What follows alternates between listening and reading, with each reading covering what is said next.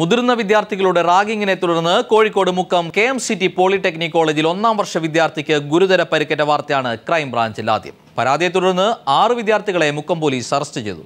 സംഭവം റാഗിംഗ് ആണെന്നും നടപടി സ്വീകരിക്കണമെന്നും ആവശ്യപ്പെട്ട് പ്രിൻസിപ്പൽ പോലീസിൽ പരാതി നൽകിയിട്ടുണ്ട്.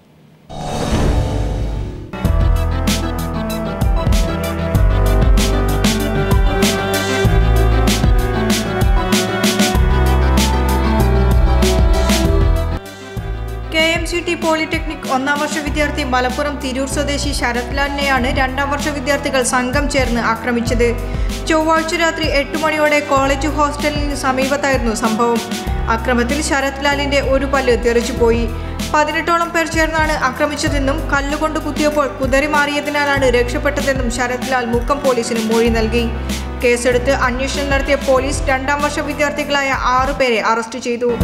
കൊയിലാണ്ടി താഴേക്കുനി കാനത്തിൽ കൃഷ്ണകുമാർ കൂത്തുപറമ്പ് നരിപ്പൂർ സ്വദേശി ജിഷിൻ കാസർഗോഡ് കപ്പളിൽ വാരക്കലിൽ ചാക്കോ തോമസ് കാസർഗോഡ് കള്ളാർ പെരുവേലിയിൽ നിതിൻ ഫിലിപ്പ് കിഴക്ക് ചങ്ങോത്ത് ഹരിശങ്കരൻ മലപ്പുറം വള്ളിക്കുന്ന് സ്വദേശിയായ പതിനേഴുകാരൻ എന്നിവരെയാണ് അറസ്റ്റ് ചെയ്തത്. കോളേജിലെ ആന്റി റാഗിംഗ് സ്ക്വാഡ് നടത്തിയ അന്വേഷണ റിപ്പോർട്ട് പ്രിൻസിപ്പൽ കുമുദിനി സ്റ്റേഷനിലെത്തി എസ് ഐക്ക് കൈമാറി. സംഭവം റാഗിംഗ് ആണെന്നും വിദ്യാർത്ഥികൾക്കെതിരെ നടപടി സ്വീകരിക്കണമെന്നും പ്രിൻസിപ്പൽ നൽകിയ പരാതിയിലുണ്ടെന്ന് S I K T Sreenivasan പറഞ്ഞു. പ്രിൻസിപ്പൽ നൽകിയ റിപ്പോർട്ട് പ്രകാരം ഇവർക്കെതിരെ റാഗിംഗ് വകുപ്പും ചേർത്ത് കോടതിയിൽ റിപ്പോർട്ട് സമർപ്പിക്കുമെന്ന് എസ് ഐ പറഞ്ഞു. അവിടെ സീനിയർ കുട്ടികൾ ജൂനിയർ വിഭാഗത്തിലെ കുട്ടികളെ ഒരു ചെറുക്കന്റെ അടിച്ചിട്ട് പല്ല് പൊട്ടിക്കുന്നത് അങ്ങനെ ഒരു കുട്ടിയുടെ ഒരു പല്ല് നഷ്ടപ്പെടുകയും അതിന് വളരെ ഗൗരവമായി പോലീസ് കാണുകയും അവർക്ക് ജാമ്യം കിട്ടാതെ വകുപ്പിട്ടിട്ട് കേസ് രജിസ്റ്റർ ചെയ്തു. അഞ്ചുപേരെ താമരശ്ശേരി കോടതിയിൽ ഹാജരാക്കി റിമാൻഡ് ചെയ്തു. പതിനേഴുകാരനെ ജുവനൈൽ കോടതിയിൽ ഹാജരാക്കി. വിദ്യാർത്ഥികൾ തമ്മിലുള്ള പ്രശ്നം ഒത്തുതീർപ്പാക്കിയതാണെന്നും പ്രിൻസിപ്പലിന്റെ നിർബന്ധപ്രകാരമാണ് കേസെടുത്തതെന്നും വിദ്യാർത്ഥികൾ ആരോപിച്ചു. News bureau Kozhikode. കാസർഗോഡ് മണൽ മാഫിയ സംഘം വീണ്ടും പോലീസിനെ ആക്രമിച്ചു. ബദിയടുക്കയിൽ മണൽ മാഫിയ സംഘത്തിന്റെ ആക്രമണത്തിൽ രണ്ട് പോലീസുകാർ ഉൾപ്പെടെ അഞ്ചു പേർക്കാണ് പരിക്കേറ്റത്. അനധികൃത മണൽ കടത്ത് തടയാൻ ശ്രമിച്ചപ്പോഴാണ് ആക്രമണം. അക്രമികളിൽ ഒരാളെയും രണ്ട് വാഹനങ്ങളും ബദിയടുക്ക പോലീസ് കസ്റ്റഡിയിൽ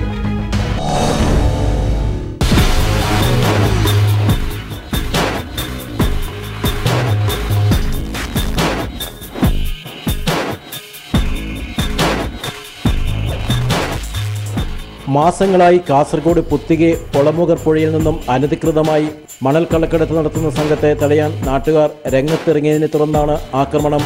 മുണ്ടിത്തെറുക്ക നൂജിയിലാണ് മണൽ കടത്തിക്കൊണ്ടുവന്ന പിക്കപ്പ് വാൻ നാട്ടുകാർ തടഞ്ഞത്. സംഭവം അറിഞ്ഞ് ബീതിയിടക്ക പോലീസ് സ്ഥലത്തെത്തി. പിക്കപ്പ് വാൻ കസ്റ്റഡിയിലെടുക്കാൻ ശ്രമിച്ചപ്പോഴാണ് ആക്രമണം. Additional S I Sundaran civil police officer K K Vinod വാഹനം തടഞ്ഞ നാട്ടുകാരായ എസ് ഷെറീഫ് എം വസന്തൻ അസ്കർ അലി എന്നിവർക്ക് പരിക്കേറ്റു. ഇവരെ വിവിധ ആശുപത്രികളിൽ പ്രവേശിപ്പിച്ചു. മണൽ കള്ളക്കടത്ത് തടയണമെന്നാവശ്യപ്പെട്ട് ജില്ലാ പോലീസ് മേധാവിക്കും വ്യതിരിക്ക പോലീസിനും പരാതി നൽകിയെങ്കിലും നടപടി ഉണ്ടാകാതിരുന്നതിനെ തുടർന്നാണ് നാട്ടുകാരുടെ ഇടപെടൽ.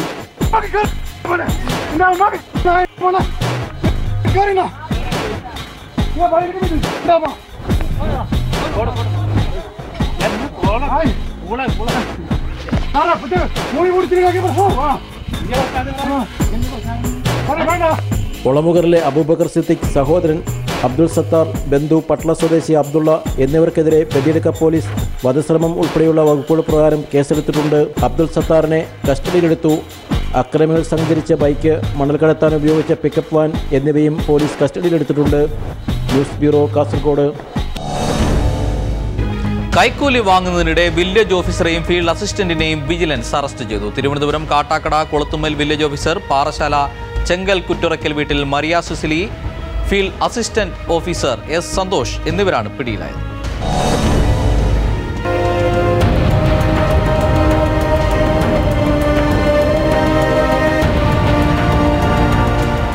Vigilance anti corruption bureau S P സുകേശന്റെ നേതൃത്വത്തിലുള്ള സംഘമാണ് ഇവരെ പിടികൂടിയത്. ഊറ്റുകുഴി സ്വദേശി രാജേന്ദ്രന്റെ പരാതിയിലാണ് നടപടി. വസ്തുവിന്റെ പോക്കുവരവിനായാണ് ഇയാളിൽ നിന്ന് കൈക്കൂലി വാങ്ങിയത്. മരിയ സിസ്ലി പതിനായിരം രൂപയും സന്തോഷ് അയ്യായിരം രൂപയുമാണ് ആവശ്യപ്പെട്ടത്. വിജിലൻസിന്റെ പതിനഞ്ചോളം ഉദ്യോഗസ്ഥർ വില്ലേജ് ഓഫീസിന്റെ പരിസരത്ത് നിലയുറപ്പിച്ച് നിരീക്ഷിച്ചാണ് ഇവരെ പിടികൂടിയത്. ബാഗിൽ നിന്നും ഫിനോഫ്തലിൻ പുരട്ടിയ അഞ്ഞൂറ് രൂപയുടെ നോട്ടുകൾ വിജിലൻസ് കണ്ടെടുത്തു. സംഭവം അറിഞ്ഞെത്തിയ നാട്ടുകാർ കൈക്കൂലിക്കാർക്കെതിരെ പ്രതിഷേധം ഉയർത്തി. മരിയ സിസിലിയും സന്തോഷും എൻ അസോസിയേഷന്റെ സജീവ പ്രവർത്തകരാണ്. News bureau Thiruvananthapuram. കോഴിക്കോട് കോർപ്പറേഷനിൽ കോൺഗ്രസ് കൗൺസിലർ ആത്മഹത്യയ്ക്ക് ശ്രമിച്ച വാർത്തയിലേക്ക്. വാർഡിലെ പ്രശ്നങ്ങൾ പരിഹരിക്കാത്തതിൽ പ്രതിഷേധിച്ചാണ് ആത്മഹത്യയ്ക്ക് ശ്രമിച്ചതെന്നാണ് ആരോപണം. കൈക്ക് മുറിവേറ്റ കൗൺസിലർ സത്യഭാമ മെഡിക്കൽ കോളേജിൽ ചികിത്സയിലാണ്.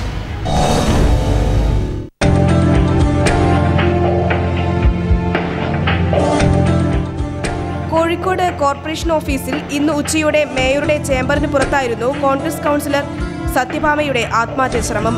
വാർഡിലെ റോഡ് വികസനവുമായി ബന്ധപ്പെട്ട വിഷയങ്ങൾ കൗൺസിൽ യോഗത്തിലുൾപ്പെടെ ഉന്നയിച്ചിട്ടും പരിഹാരം കണ്ടില്ലെന്ന് ആരോപിച്ചായിരുന്നു സത്യഭാമ മേയറെ കാണാനെത്തിയത്. എന്നാൽ കൂടിക്കാഴ്ചയിൽ മേയർ അവഗണിച്ചതിനെ തുടർന്നുള്ള അപമാനം മൂലമാണ് സത്യഭാമ ആത്മഹത്യക്ക് ശ്രമിച്ചതെന്ന് കോൺഗ്രസ് കൗൺസിലർ ആരോപിച്ചു. വെച്ചാൽ അവനവന്റെ ഇറങ്ങി നടക്കാൻ പറ്റാത്ത ഒരു സാഹചര്യം. ഇവരുടെ വീട്ടിന്റെ മുന്നിൽ തന്നെയാണ് ഈ റോഡുള്ളത് ആ റോഡിൽ കൂടി പോകുന്നതിന് വേണ്ടി ആളുകൾ കാണുമ്പോഴൊപ്പം നോക്കുകയാണ് നോക്കുകയും പറയുകയും ചീത്ത വിളിക്കുകയാണ്. അപ്പോൾ ആ ഒരു സാഹചര്യത്തിൽ അവർക്ക് ഒരു മറുപടി കിട്ടണം അല്ലെങ്കിൽ ആ റോഡ് നേരെയാക്കി കിട്ടണം. അപ്പോൾ അത് ചെയ്യാത്ത സ്ഥിതിക്കാണ് അവർ ചെയ്തത്. എന്നാൽ യാതൊരു പ്രകോപനവുമില്ലാതെ തന്നെ തടഞ്ഞു നിർത്തി ആത്മഹത്യാ ശ്രമം നടത്തുകയായിരുന്നു എന്ന് മേയർ എ കെ പ്രകാശൻ വ്യക്തമാക്കി. ഞാൻ ഉച്ചയ്ക്ക് വീട്ടിൽ നിന്ന് ഊണ് കഴിച്ച് വരികയായിരുന്നു. പെട്ടെന്ന് തന്നെ എന്റെ മുന്നിലേക്ക് വന്ന് എന്നെ തടഞ്ഞു നിർത്തിയിട്ട് എന്റെ ഫോണിലെ പ്രശ്നങ്ങൾ പരിഹരിച്ചില്ലെങ്കിൽ എന്ന് പറയലും ഈ ബ്ലേഡ് എടുത്തിട്ട് മുറിക്കുക ചെയ്തിരിക്കുന്നത്. ഇത്രയാണ് സംഭവിച്ചത്. കൈക്ക് മുറിവേറ്റ സത്യഭാമ കോഴിക്കോട് മെഡിക്കൽ കോളേജ് ആശുപത്രിയിൽ ചികിത്സയിലാണ്. സംഭവത്തിൽ പ്രതിഷേധിച്ച് യൂത്ത് കോൺഗ്രസ് പ്രവർത്തകർ നഗരത്തിൽ പ്രതിഷേധ പ്രകടനം നടത്തി. News bureau Kozhikode. ദമ്പതികൾ ചമഞ്ഞെത്തി മയക്കുമരുന്ന് ചേർത്ത ഭക്ഷണ പദാർത്ഥങ്ങൾ നൽകി. നിരവധി പേരിൽ നിന്ന് പണവും സ്വർണവും കവർന്ന യുവാവും യുവതിയും പോലീസിന്റെ പിടിയിലായി. ഇവരിൽ നിന്ന് തെറ്റിപ്പിരിഞ്ഞയാൾ നൽകിയ വിവരത്തെ തുടർന്നാണ് അറസ്റ്റ്.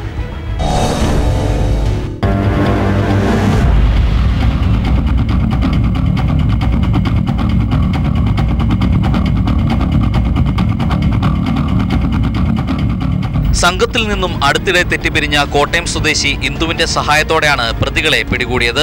കൊല്ലം പവിത്രേശ്വരം പുഷ്പമംഗലത്തിൽ ദിൽജിത്ത് കോട്ടയം നാഗമ്പടം സ്വദേശിനി ഗീത എന്നിവരാണ് ആലപ്പുഴ പോലീസിന്റെ പിടിയിലായത്. തട്ടിപ്പ് പണം ഉപയോഗിച്ച് ആലപ്പുഴ തിരുവമ്പാടിയിലെ ഷോറൂമിൽ നിന്നും കാർ വാങ്ങാനെത്തിയ ശേഷം ഇവിടെ ഏൽപ്പിച്ചു പോയ ബൈക്ക് തിരികെ എടുക്കാൻ വന്നപ്പോഴാണ് ദിൽജിത്ത് പോലീസിന്റെ പിടിയിലാകുന്നത്. പിന്നീട് തിരുവല്ല റെയിൽവേ സ്റ്റേഷനിൽ നിന്ന് ഗീതയെയും പോലീസ് അറസ്റ്റ് ചെയ്തു. കമ്പ്യൂട്ടർ എയ്ഡ് പോലീസ് സർവീസ് സെല്ലിന്റെയും സൈബർ സെല്ലിന്റെയും സഹായത്തോടെ ദിവസങ്ങളായി ഇവരെ നിരീക്ഷിച്ചു വരികയായിരുന്നുവെന്ന് Alappuzha S P K K Balachandran പറയുന്നു കൊല്ലം പുത്തൂരിൽ നിന്നും ബൈക്ക് മോഷ്ടിച്ചാണ് ദിൽജിത്ത് തട്ടിപ്പ് തുടങ്ങിയത്. പിന്നീട് സുഹൃത്തു വഴി പരിചയപ്പെട്ട ഗീതയെ തട്ടിപ്പുകൾക്ക് ഒപ്പം കൂട്ടി. കോട്ടയം കുമരകത്ത് വീട്ടമ്മയെ കാൽ കയറ്റി മയക്കുമരുന്ന് നൽകി ഇരുവരും ചേർന്ന് ആഭരണങ്ങൾ കവർന്നു. കോട്ടയം സ്വദേശി മാത്യുവിനെ ഭീഷണിപ്പെടുത്തി സ്വർണമോതിരവും പണവും കവർന്ന കേസിലും ഇവർ പ്രതികളാണ്. കോയിപ്പുറത്ത് പലചരക്ക് വ്യാപാരിയെ വശീകരിച്ച് പതിനയ്യായിരം രൂപ തട്ടിയെടുത്തു. തണ്ണീർമുക്കത്ത് വൃദ്ധയായ വീട്ടമ്മയ്ക്ക് മയക്കുമരുന്ന് നൽകി പന്ത്രണ്ട് ഗ്രാം സ്വർണം കവർന്നു. മുഹമ്മയിൽ വൃദ്ധയ്ക്ക് മയക്കുമരുന്ന് പുരട്ടിയ ബിസ്ക്കറ്റ് നൽകി കമ്മലും വളയുമായി കടന്നു. കൈനടിയിൽ സൗഹൃദം നടിച്ചെത്തി റിട്ടയർഡ് നഴ്സിന് ശീതളപാനീയത്തിൽ മയക്കുമരുന്ന് കലർത്തി അഞ്ചു പവനാണ് കവർന്നത്. ആഴ്ചകൾക്ക് മുമ്പ് ആലപ്പുഴ തോട്ടപ്പള്ളിയിലെ കട നടത്തുന്ന പൊന്നമ്മ എന്ന സ്ത്രീക്ക് മയക്കുമരുന്ന് കലർത്തിയ ഐസ്ക്രീം നൽകി ആഭരണം തട്ടാൻ ശ്രമിച്ചെങ്കിലും പരാജയപ്പെട്ടു. കഴിഞ്ഞ ദിവസം ആറന്മുളയിൽ വീട്ടമ്മയ്ക്ക് കാറിൽ ലിഫ്റ്റ് നൽകി ആഭരണങ്ങൾ കവർന്ന കേസിലും പ്രതിയാണിവർ. കോട്ടയം സ്വദേശിയായ ജോത്സ്യനെ വശീകരിച്ച് അൻപത്തിരണ്ടായിരം രൂപ തട്ടിയെടുത്തു. ലൈംഗികമായി വശീകരിക്കുന്നവരെ ലോഡ്ജുകളിൽ എത്തിച്ച് കിടപ്പറ രംഗങ്ങൾ രഹസ്യമായി ചിത്രീകരിച്ച് ഭീഷണിപ്പെടുത്തി പണം തട്ടുന്നതും ഇവരുടെ പതിവായിരുന്നുവെന്ന് പോലീസ് പറയുന്നു. കുറുവലങ്ങാട്ടെ പ്രമുഖ രാഷ്ട്രീയക്കാരനും എറണാകുളം സ്വദേശിയായ ഗായകനും ഇവരുടെ കെണിയിൽപ്പെട്ടിരുന്നു. വൃദ്ധകളായ വീട്ടമ്മമാരാണ് ഇവരുടെ തട്ടിപ്പിനിരയായവരിൽ ഭൂരിപക്ഷവും. മൂന്നു കുട്ടികളുടെ മാതാവായ ഗീത പർദ്ദയണിഞ്ഞും നിരവധി തട്ടിപ്പുകൾ നടത്തിയിട്ടുണ്ട്. പ്രതികളെ ചോദ്യം ചെയ്യുന്നതോടെ കൂടുതൽ കേസുകൾക്ക് തുമ്പുണ്ടാകുമെന്നാണ് പോലീസിന്റെ പ്രതീക്ഷ. News bureau Alappuzha. ഇനി ദാരുണമായൊരു സംഭവം. സർക്കാർ ആശുപത്രിയിൽ നിന്നും പറഞ്ഞുവിട്ട ആദിവാസി യുവതി ഓട്ടോറിക്ഷയിൽ പ്രസവിച്ചു.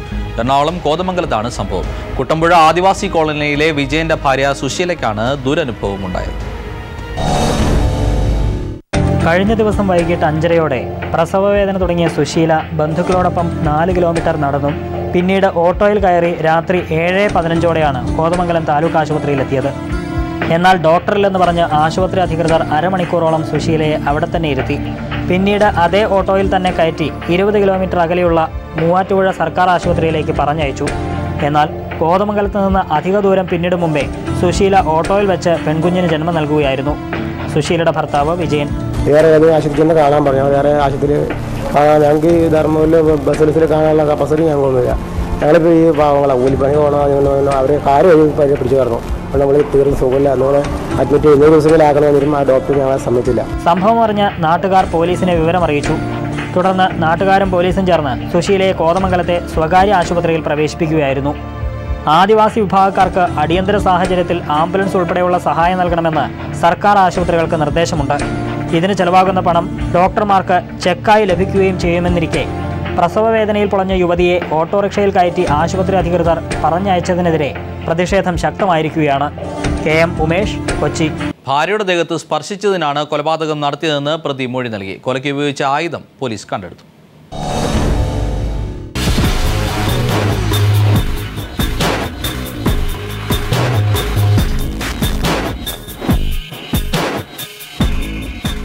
ഈ മാസം പതിമൂന്നിന് രാത്രി പന്ത്രണ്ടരയോടെയാണ് മാട്ടുപ്പെട്ടി ഇൻഡോസിസ് പ്രോജക്റ്റിലെ താൽക്കാലിക ഡ്രൈവർ ബാലസുബ്രഹ്മണ്യത്തെ മറയൂർ കുടവയൽ സ്വദേശി രാജേഷ് എന്നു വടിവേലു ലക്കം ഭാഗത്ത് ബസ് തടഞ്ഞു നിർത്തി വെട്ടിക്കൊലപ്പെടുത്തിയത്. സംഭവത്തിനു ശേഷം രക്ഷപ്പെടാൻ ശ്രമിച്ച പ്രതിയെ പോലീസ് അന്ന് രാത്രി തന്നെ പിടികൂടിയിരുന്നു. ഉടനെ തളർന്നു വീണ പ്രതിയെ കോട്ടയം മെഡിക്കൽ കോളേജ് ആശുപത്രിയിൽ പ്രവേശിപ്പിച്ചു. ഒരാഴ്ചയിലധികം അവശത അഭിനയിച്ച് പോലീസിനെ വട്ടം കറക്കിയ പ്രതിയെ നിരവധി പരിശോധനയ്ക്ക് ശേഷമാണ് ഡിസ്ചാർജ് ചെയ്തത്. സംസാരശേഷി നഷ്ടപ്പെട്ടതായും ശരീരം തളർന്നതായും അഭിനയിച്ച വടിവേലുവിനെ മെഡിക്കൽ ബോർഡ് പരിശോധന നടത്തി. രോഗം ഒന്നുമില്ലെന്നു റിപ്പോർട്ട് നൽകിയ ശേഷമാണ് അറസ്റ്റ് ചെയ്തത്. Munnar C I A R ഷാനിഖാന്റെ നേതൃത്വത്തിലുള്ള അന്വേഷണ സംഘമാണ് പ്രതിയെ തെളിവെടുപ്പിനായി എത്തിച്ചത്. ഇതിനിടെയും പ്രതി അവശത അഭിനയിച്ച് പോലീസിനെ കബളിപ്പിക്കാൻ ശ്രമിച്ചു. കൊലപാതകത്തെപ്പറ്റി വടിവേലു മൊഴി നൽകിയത് ഇങ്ങനെ. സംഭവ ദിവസം ഭാര്യയുമായി ഉദുമൽപേട്ടയിൽ നിന്നും മറയൂരിലേക്ക് രാത്രി യാത്ര ചെയ്യുമ്പോൾ ബസ്സിനുള്ളിൽ രണ്ട് ലൈറ്റ് മാത്രമാണ് ഉണ്ടായിരുന്നത്. ഭാര്യയും യാത്രക്കാരും ഉറക്കത്തിലായിരുന്നു. കുറേ ദൂരം പിന്നിട്ടപ്പോൾ ഭാര്യ പെട്ടെന്ന് എഴുന്നേറ്റു. കാര്യം അന്വേഷിച്ചപ്പോൾ ഒന്നുമില്ലെന്ന് പറഞ്ഞു. രാത്രി പന്ത്രണ്ടിന് വീട്ടിലെത്തിയ ശേഷം ബസ്സിലെ മുൻസീറ്റിലിരുന്ന യാത്രക്കാരൻ തന്റെ ശരീരത്തിൽ കടന്നു പിടിച്ച കാര്യം ഭാര്യ വെളിപ്പെടുത്തി. തുടർന്നാണ് വീട്ടിൽ നിന്നും വെട്ടുകത്തിയുമായി വടിവയിൽ ബസ് പിന്തുടർന്ന് സുബ്രഹ്മണ്യത്തെ കൊലപ്പെടുത്തിയത്. പ്രതിയെ ദേവികുളം കോടതിയിൽ ഹാജരാക്കി. News desk. സ്കൂൾ കുട്ടികളെ ചുമടെടുപ്പുകാരാക്കരുത്. സ്കൂൾ ബാങ്കിന്റെ ഭാരം കുറയ്ക്കണമെന്ന നിർദ്ദേശം നടപ്പായില്ല. അമിത ഭാരം കുട്ടികളുടെ ആരോഗ്യത്തെ ബാധിക്കുമെന്ന റിപ്പോർട്ടോടുകൂടി ഇന്നത്തെ ക്രൈംബ്രാഞ്ച് പൂർണമാവുകയാണ്. നമസ്കാരം. സ്വന്തം ശരീരത്തിന്റെ പത്തിലൊന്ന് ഭാരം മാത്രമേ സ്കൂൾ വിദ്യാർത്ഥികളുടെ ബാഗുകൾക്കാകാവൂ. അല്ലാത്ത പക്ഷം സ്കൂൾ അധികൃതർക്കെതിരെ മൂന്ന് ലക്ഷം രൂപ വരെ പിഴ ചുമത്താം. സ്കൂൾ ബാഗിന്റെ ഭാരം നിയന്ത്രിക്കാൻ രണ്ടായിരത്തി ആറിൽ തയ്യാറാക്കിയ നിയമത്തിലെ നിർദ്ദേശങ്ങൾ അനുസരിച്ചാണ് ഈ ശിക്ഷാവിധി. പ്രീ പ്രൈമറി തലത്തിൽ കുട്ടികൾക്ക് ബാഗുകൾ പാടില്ല. ഇത്തരത്തിൽ നിർദ്ദേശങ്ങളടങ്ങിയ നിയമം തയ്യാറാക്കി വർഷങ്ങൾ കഴിഞ്ഞിട്ടും നിയമം നടപ്പിലാക്കാൻ നടപടികളായിട്ടില്ല. രണ്ടായിരത്തി പന്ത്രണ്ടിൽ Indian chamber of commerce and industries നടത്തിയ സർവേയിൽ പരിഗണിച്ച പന്ത്രണ്ട് വയസ്സിന് താഴെയുള്ള വിദ്യാർത്ഥികളിൽ അൻപത്തിയേഴ് ശതമാനം പേരുടെയും അസ്ഥിവ്യൂഹങ്ങൾക്ക് തകരാർ സംഭവിച്ചിരിക്കുന്നതായി കണ്ടെത്തിയിട്ടുണ്ട്.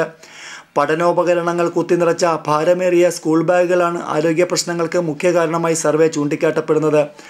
ഭാരമേറിയ സ്കൂൾ ബാഗുകൾ തോളിലേറ്റുന്ന വിദ്യാർത്ഥികളുടെ നട്ടലിന് കാര്യമായ തകരാറുകൾ സംഭവിക്കുന്നു. സർവേയിൽ പങ്കെടുത്ത തൊണ്ണൂറ്റി അഞ്ച് ശതമാനം വിദ്യാർത്ഥികളുടെയും സ്കൂൾ ബാഗിന്റെ ഭാരം ശരീരത്തിന്റേതിൽ നിന്നും മുപ്പത്തിയഞ്ച് ശതമാനത്തിലധികമാണ്. രണ്ടായിരത്തി ആറിലെ സ്കൂൾ ബാഗ് നിയമപ്രകാരം ഒന്ന് രണ്ട് ക്ലാസ്സുകളിലെ വിദ്യാർത്ഥികളുടെ ബാഗിന്റെ ഭാരം രണ്ട് കിലോഗ്രാമും മൂന്ന് നാല് ക്ലാസ്സുകളിലേത് മൂന്ന് കിലോയും അഞ്ച് മുതൽ എട്ട് വരെയുള്ള വിദ്യാർത്ഥികളുടേത് നാല് കിലോഗ്രാമും ഒൻപത് പത്ത് ക്ലാസ്സുകളിലേത് അഞ്ച് കിലോയിലും അധികമാകാൻ പാടില്ല. എന്നാൽ പുത്തൻ പഠന രീതിയിൽ പ്രീ പ്രൈമറി വിദ്യാർത്ഥികളുടെ ബാഗിന്റെ ഭാരം പോലും അഞ്ച് കിലോയിലധികമാണ് സ്കൂൾ ബാഗിന്റെ ഭാരം മൂന്നിലൊന്നായി കുറയ്ക്കാൻ സംസ്ഥാന മനുഷ്യാവകാശ കമ്മീഷനും രണ്ടായിരത്തി ആറിൽ ഉത്തരവിട്ടിരുന്നു. എന്നാൽ ഇത്തരത്തിലുള്ള ഉത്തരവുകൾക്കൊന്നും നടപടിയെടുക്കാൻ വിദ്യാഭ്യാസ വകുപ്പോ പബ്ലിക് ഇൻസ്ട്രക്ഷൻ വിഭാഗത്തിനോ യാതൊരുവിധ താല്പര്യവും കാണുന്നില്ല. Shajahan news bureau Alappuzha.